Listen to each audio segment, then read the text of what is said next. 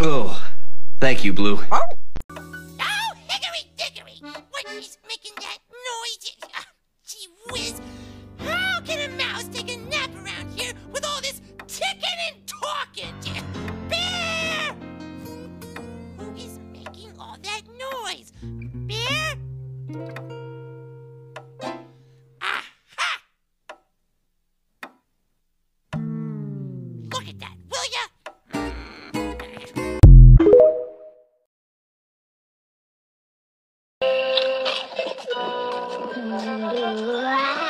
Wow! Angelica was right.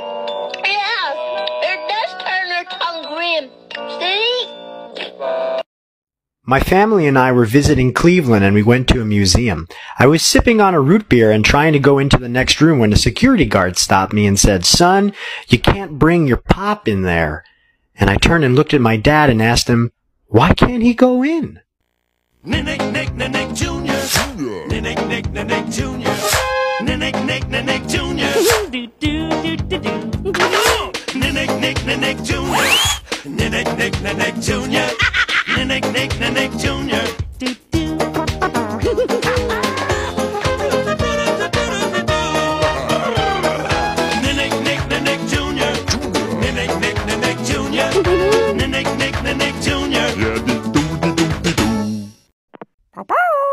Yesterday for lunch I got Chinese food, but I only ate half. I thought, you know what I'm gonna do?